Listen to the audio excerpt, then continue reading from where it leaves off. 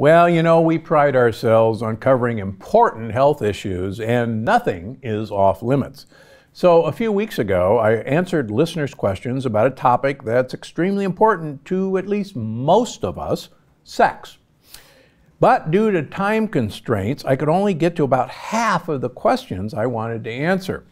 And since that episode aired, many listeners wrote in asking for a second episode on sexual health.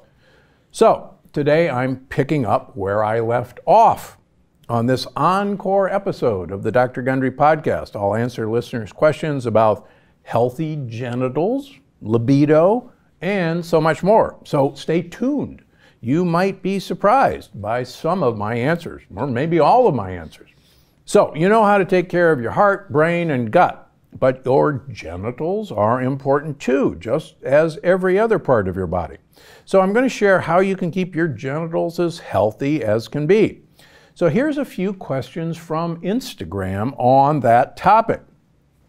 I struggle with constant yeast infections. How do I deal?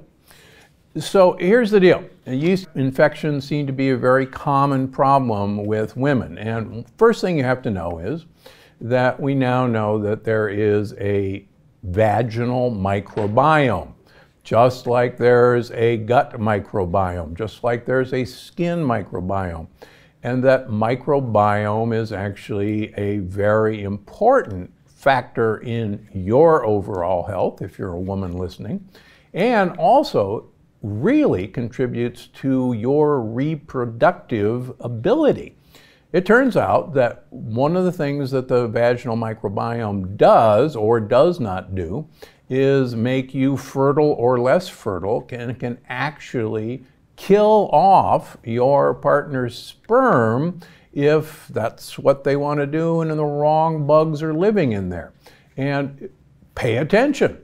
So, what about yeast infections? Well, the vast majority of yeast infections that I see in my patients usually follow number one, a round of antibiotics for a completely different reason, whether it was you had the sniffles and your doctor gave you a Z-Pak or anything else, or you had a bladder infection.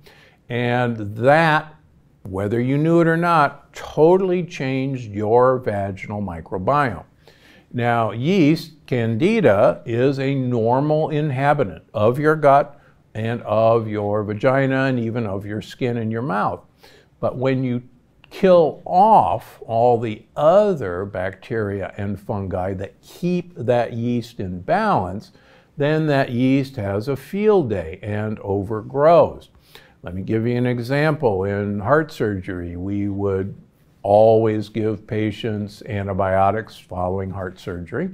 And a number of these patients would develop a yeast infection of their mouth called thrush or a yeast infection of their esophagus, which could often be devastated. I actually wrote a paper about it years ago.